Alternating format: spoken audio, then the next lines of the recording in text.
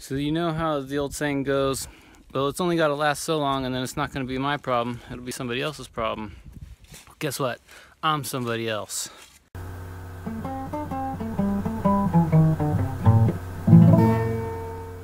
So I'm digging my ditch here. Yeah. Yada yada. And all of a sudden, snap, I hit some wires. Yeah, so when I'm digging, that's what I hit. I punctured this. I could have sent Farmer G for quite a ride had this been live.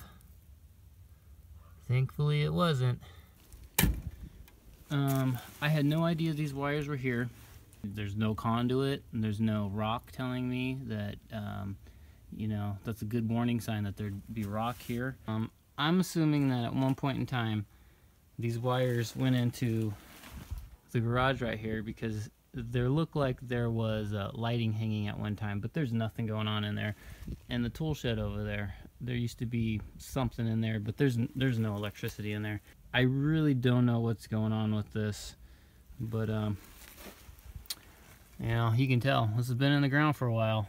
So I mean, even if this was direct burial wire, I don't know that it is. I'm assuming it's not, but even let's say it was direct burial wire, I mean, there should still be some kind of warning sign that you're about to hit some wires.